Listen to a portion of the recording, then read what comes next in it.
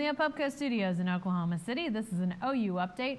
I'm Jenni Carlson. The Oklahoma men's basketball team picked up a win midweek against Texas Tech, and Mike Baldwin joins us on the phone. Mike, it wasn't necessarily very pretty, but uh, the shooting woes continue for Oklahoma. They still get that win.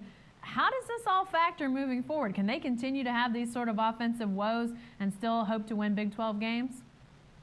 Uh, I don't think so, Jenni. I mean, that was some, part of the problem during the on three start. Of course, you're playing uh, top 20 teams like Missouri, Kansas, and then the Bedlam rival. But when you're shooting 35%, under 40% like they were consistently, it just makes it very difficult to win. Just like when you don't get hits in baseball and you don't move the chains in football, it's just hard to win. But they did find a way to win against a bad Texas Tech team the other night because their defense was pretty good and held uh, Texas Tech to only 34% shooting. So the positive was their defense has been playing pretty well, but the, the negative is their offense is going to have to come around if they're going to consistently win in a league that's this tough.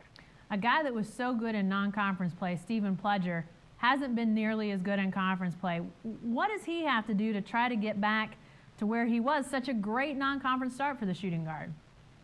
Well, we're going to write a little bit about him in Saturday's paper and how he, he sort of emulates Ray Allen on the Boston Celtics. That he's one of those shooters that when he's open, he shoots a thousand jump shots after practice every uh, every day at practice, so he can really knock it down. But now opponents are game planning him. He's third leading scorer in the conference. He's averaging over 17 a game, so people are game planning that. So as a result, he he is trying to develop his game to where he's taking people more off the dribble, getting the lane more, and get to the line more. And so he's trying to expand his game a little bit because everybody knows he's just one of the best spot, spot up shooters in the country. But now he's realizing that they'll try to take that away from him, and he needs to do other things. What about this Saturday game, Mike? Uh, Sooners get ready to go to Texas A&M. Is this one where they could maybe steal a road win in the Big 12? Well, they'll be an underdog, of course, but yeah, I think so. A&M's one and four in conference. They have about like a 250 RPI nationally.